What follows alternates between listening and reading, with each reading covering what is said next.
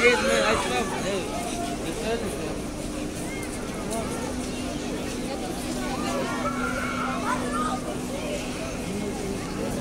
This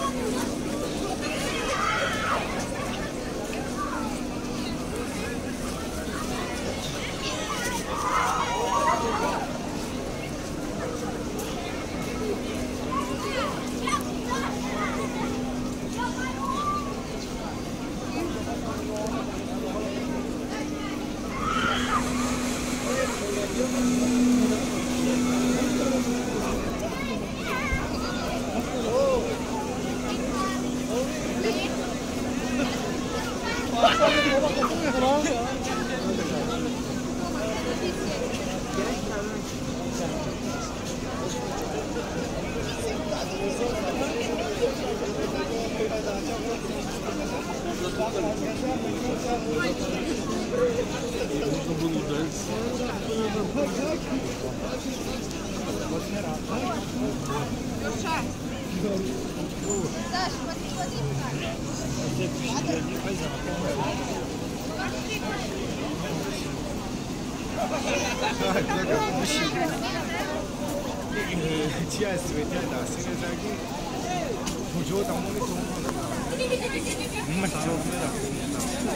bom.